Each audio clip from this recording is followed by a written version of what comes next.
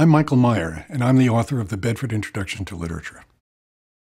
After 10 editions and 30 years of working with this anthology, I'm still convinced that it's essential to make sure students enjoy literature in an introductory course. I want them to think of literature as something more than just required reading. The goal is for them to see it as a valuable way of understanding life in all its fullness, subtlety, and ambiguity. I like to think of the Bedford Introduction to Literature as a small library that offers a wide range of works that are inherently interesting, engaging, and teachable. There are pieces that are simple and complex, as well as classic and popular. I try to emphasize all the messy, curious, and surprising pleasure that there is in reading, and I think contemporary selections can enrich students' reading of canonical works. This is not a bait and switch strategy. Instead, it's a double hook an incentive for students to make thematic and stylistic connections that reinforce the kind of analytic skills they need to be informed, intelligent, critical readers and writers. I've taught many courses during my university career, but the introductory one is especially important because it might be the only literature course students ever take.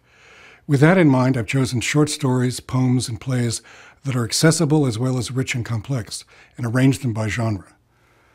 Alongside canonical writers like Sophocles and Shakespeare, Dickinson and Hawthorne are contemporary selections from Annie Proulx, Nathan Englander, Sherman Alexie, and David Ives. I collaborated with Billy Collins, Julia Alvarez, and Dagoberto Gilb on chapters dedicated to their work. Each author wrote commentaries on the works that they selected for the anthology. They provided manuscript pages and personal photographs to bring these chapters to life. I hope they inspire students regardless of their backgrounds, abilities, and interests, to become lifelong readers who write thoughtfully and skillfully. I believe that emphasizing literature on relatable themes encourages students not to mistakenly associate it more with school than with life. For this 10th edition, I added three new case studies with that in mind chapters on the Harlem Renaissance, poetry in response to full color fine art, and a provocative selection of poems about the world of work all of them help students make literary connections to issues of race, politics, the visual arts, and the business of making a living. That last case study of poems about work dovetails nicely with another chapter new to this edition.